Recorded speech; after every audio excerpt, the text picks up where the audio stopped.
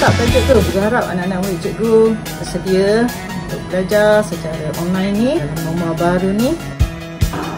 5, 2,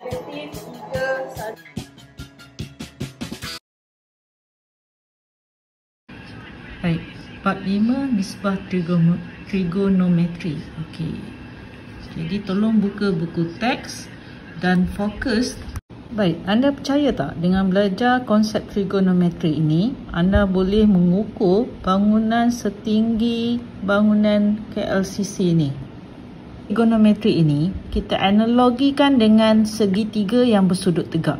Ini bermaksud jika kita tahu panjang ataupun tinggi segitiga tersebut T dan kita tahu panjang atau tapak jarak S serta kita tahu ukuran sudut dongak maka kita boleh kira menggunakan konsep trigonometri ini bagi mengira ketinggian bangunan KLCC tersebut. Sebelum itu, kita kena ulang kaji semula bagi sebuah segitiga yang bersudut tegak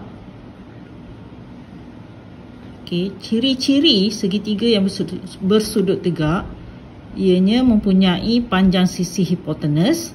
Iaitu kedudukan sisi hipotenus haruslah bertentangan dengan sudut 90 darjah. Maka dua sisi yang lain itu kita nyatakan sebagai sisi yang bertentangan dan sisi yang bersebelahan merujuk kepada sudut. Ada dua sudut selain daripada sudut 90 darjah itu. Okey, kalau rujukan kita itu adalah x, maka bertentangan dengan x itu adalah sisi yang sisi bertentangan, maka kalau sisi yang bersebelahan dengan sudut x itu kita nyatakan sebagai uh, sisi bersebelahan.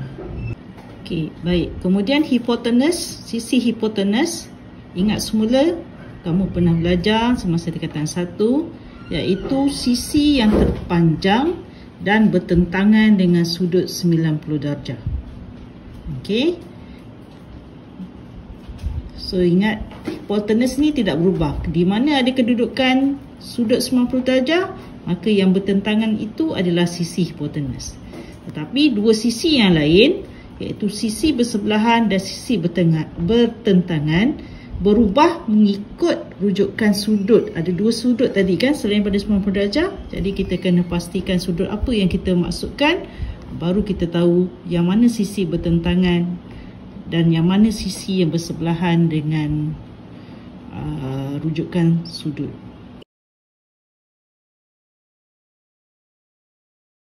Di sini eh, anda maklum sudut X ni juga adalah sudut BAC. Okay. Kalau ini menjadi rujukan kita, sudut X kat sini, maka sisi BC, cuba perhatikan BC ini, okay. dan di sini AB. Okay. Kita lihat dulu BC. BC ini, kedudukan sisi ini bertentangan dengan sudut X. Maka kita namakan sisi BC ini sebagai sisi yang bertentangan. Okay. Manakala pula bagi sisi AB, dudukkan dia bersebelahan dengan sudut X ini, maka kita namakan dia sebagai sisi bersebelahan. Dan perhatikan pula dengan uh, rujukan sudut kita iaitu Z. Sudut Z di sini bertentangan dengan Z. Kalau sisi yang bersebelahan dengan sudut Z ini ialah sisi BC. Okay. Jadi, cuba jawab soalan ni. Jika sudut Z, sudut BCA, maka sisi BC dan sisi AB ialah AB di sini ialah sisi yang bertentangan dengan sudut Z manakala BC merupakan sisi yang bersebelahan dengan sudut Z. Okay. Baik, seterusnya dah faham, cuba jawab soalan ini. Iaitu lengkapkan jadual di sini dengan merujuk kepada rajah yang diberi kat sini. Okey, cikgu bantu kamu untuk rajah yang pertama ni. Contoh rajah A, B, C ni, segitiga ni, perhatikan baik-baik. Okey. Nyatakan kedudukan yang manakah sisi hipotenus, sisi bersebelahan dan sisi bertentangan. Okey, rujuk kepada sudut yang diberi kat sini. Contoh, kalau sudut BAC, ni BAC, maknanya sudut di sini. Okey. Sisi yang bersebelahan dengan sudut A ni ialah AB. So, jawapan kat sini AB. Manakala sisi yang bertentangan dengan sudut A ni ialah bertentangan BC. So, isikan kat sini BC. Okey. Tadi cikgu lupa nak maklumkan bahawa sisi hipotenus ini ni mudah.